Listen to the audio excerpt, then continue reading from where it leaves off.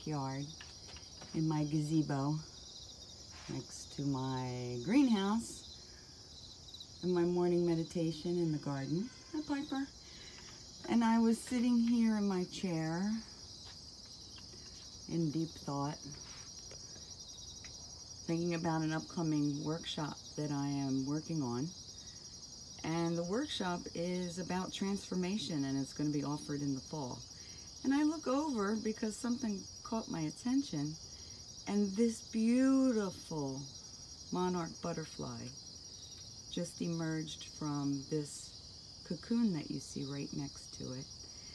And it was very, very, very slowly opening and closing its wings. And it was really the most beautiful sight seeing the uh, butterfly emerge for the first time and get used to using her wings and experiencing what they feel like. And I couldn't help but notice the synchronicity of it because I was sitting here and thinking about this upcoming class on transformation that I'm putting together. And so I just had to grab my video camera and take a picture of this beautiful butterfly for everyone to see.